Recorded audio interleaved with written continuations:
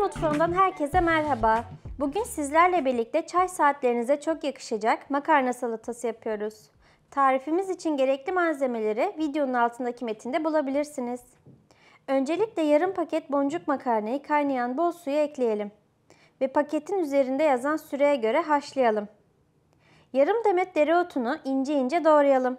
Ve kornişon turşuyu da küçük küpler halinde doğrayalım.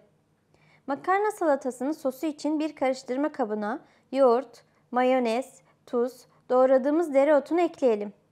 Karışımı bir çatal yardımıyla çırpalım.